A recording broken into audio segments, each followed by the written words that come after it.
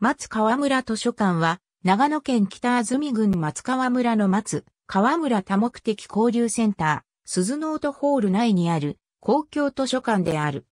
1951年には、松川村立松川小学校の教室を用いて、図書館を開設した。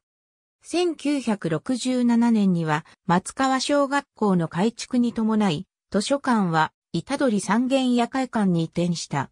同年には、移動図書館サービスを開始している。1971年には、松川小学校の新校舎が竣工し、図書館は小学校内の保育所に移転した。1973年12月には、松川村公民館の2階に図書室が設けられた。1987年には、松川村公民館図書室の増書数が約9500冊となった。松川村公民館図書室は、安住の地広美術館を経由して寄贈された児童書を多数所蔵していた。2009年5月20日には、松川村多目的交流センター、鈴ノートホールの竣工記念式典が開催され、5月23日には、鈴ノートホール内に松川村図書館が開館した。これに先立って松川村は図書館条例を制定しており、図書館法に基づく公共図書館となった。長野県では66館目の公共図書館である。開館時の開館時間は、平日が9時から19時、土日祝日が9時から17時であり、休館日は火曜、最終金曜日、年末年始、特別整理期間だった。2010年度からは全国に先駆けて、ぬいぐるみの図書館お泊まり会を実施し、毎年同様のイベントを開催している。2016年度のシステム更新に合わせて読書手帳を導入した。2013年時点では5万冊弱の蔵書の60%を自動図書が占めていた。2017年時点のデータによると、6万5千冊強の蔵書の43%を自動図書と絵本が占めている。松川村図書館では各種イベントを行っている。長野県の図書館としては2番目に、ナクソスミュージックライブラリーを導入した。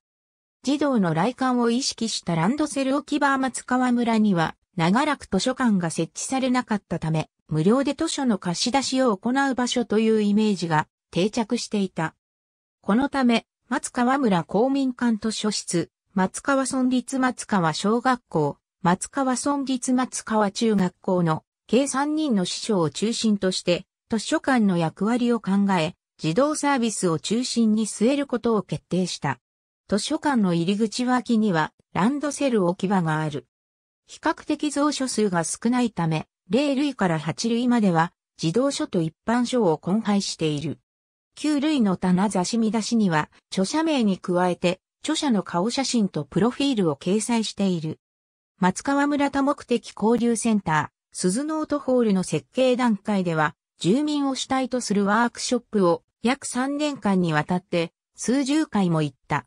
先進図書館の視察、重機の選定、選書などにも多くの住民が関わっている。設計は、流環境計画。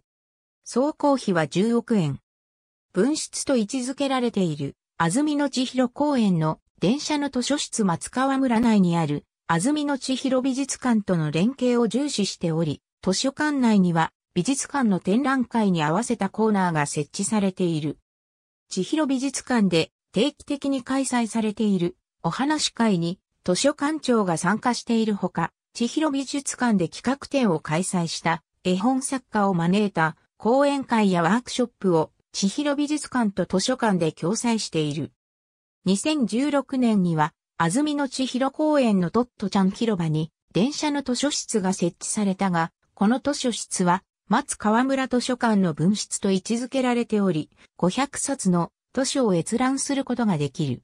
ぬいぐるみの図書館お泊まり会は、電車の図書室でも行われている。松川村中心部。ありがとうございます。